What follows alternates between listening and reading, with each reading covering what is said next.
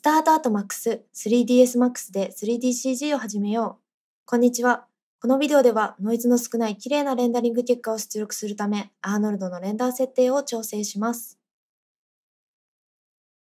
前回ライティングで使用したスタジオセットを使用していきます。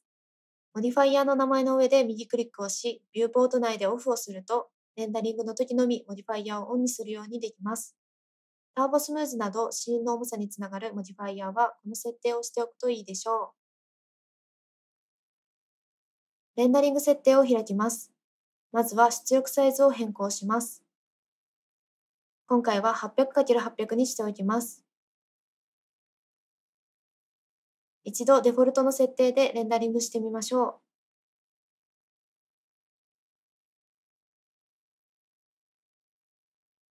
このようにノイズの多い画像になってしまっています。レンダリング設定でアーノルドレンダラータブに切り替えます。こちらのサンプリング Ray Depth 内の数値がレンダリング画像のノイズの量に影響しています。では、どのサンプルをどれだけ上げればいいのか、その適正値を AOV という機能を使って探っていきましょう。AOVs タブに移動し、こちらのボタンを押して AOV の設定のウィンドウを開きます。AOV はレンダリングされた画像を要素ごとに分解して表示できる機能です。AOV を使用することで、どの要素にノイズの原因があるのかを特定することができ、必要なところにだけサンプル数を上げることで、レンダリング時間が無駄に増えることを防ぐことができます。AOVs Without で All in ファイルと Combined のチェックを外し、下にある Add to New ファイルを押します。これで AOV が追加されました。ポートとボリュームは今回のシーンには含まれていないので、ゴミ箱のアイコンを押して削除しておきましょう。シーンには含まれていますが、ノイズ除去には関係ないので、シーンの要素も削除しておきます。今回使用する AOV は、光が当たっている部分を表すディフューズ、反射部分を表すスペキュラー、サブサーフェイスを使用している部分の SSS、透過された部分のトランスミッション、以上の4つです。ダイレクトが直接光、インダイレクトは間接光を指します。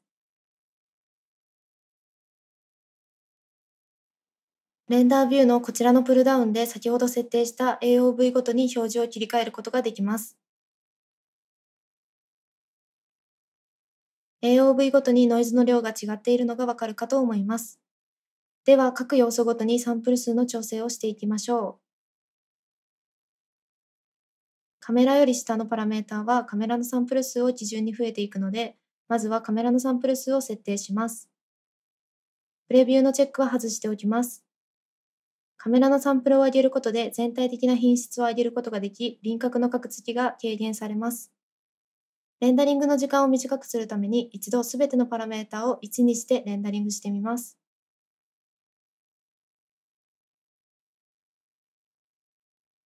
比較のためにこちらのアイコンでレンダー画像のスナップショットを撮っておきます。今度はカメラのサンプルを3にしてみます。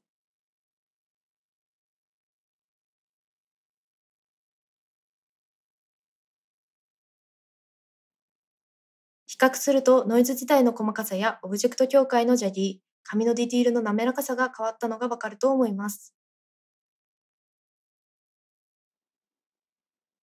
カメラのサンプルが決まったら他の項目の設定をしていきます。次はディフューズの調整をします。ディフューズはディフューズインダイレクトに影響があるので、ディフューズインダイレクトを表示します。全体的にノイズが多いので気にならなくなるまで上げていきます。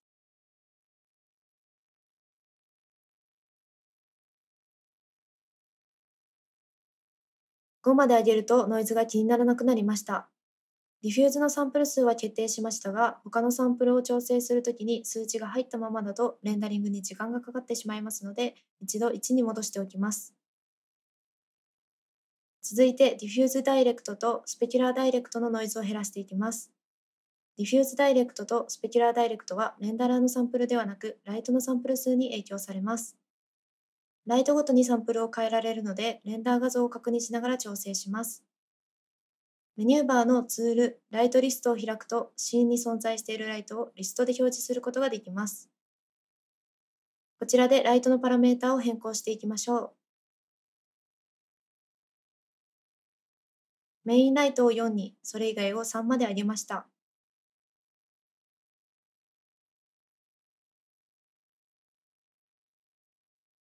ディフューズの時と同様にサンプルを1に戻します。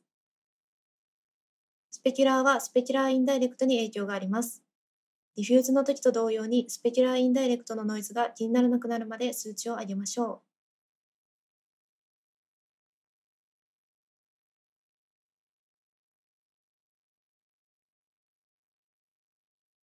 今回は4くらいで問題なさそうです。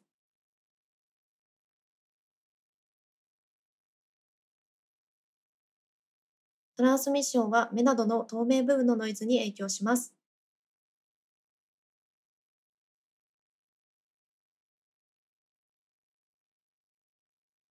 今回は4まで上げました。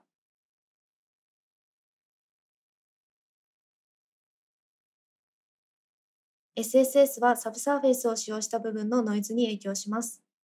半透明なものを表現するために他よりも多いサンプル数が必要になります。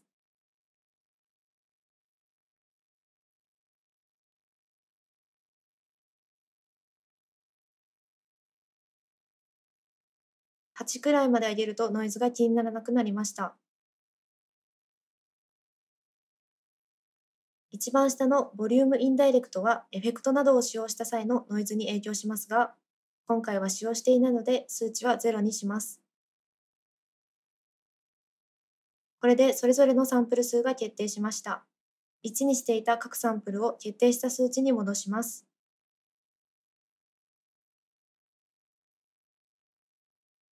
ライトのサンプルも戻しておきましょう。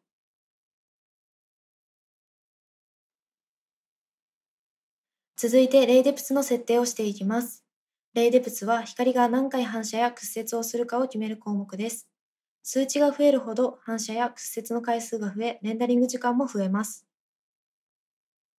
ディフューズは光の拡散の回数で、部屋のライティングなどの際に数値を上げることで部屋の隅まで光が届くようになります。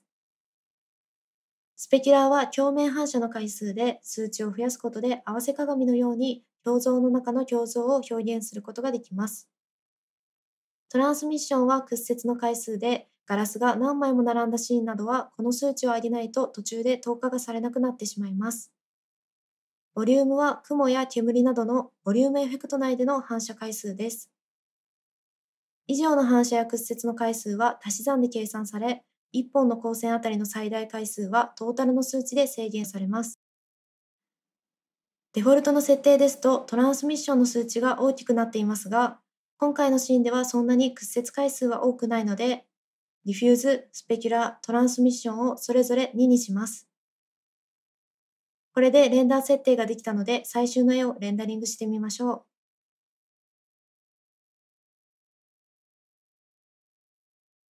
それぞれの AOV のノイズが少ない画像を出力できました。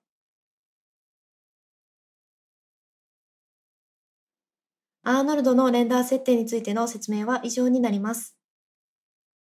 スタートアットマックスご視聴いただきありがとうございました。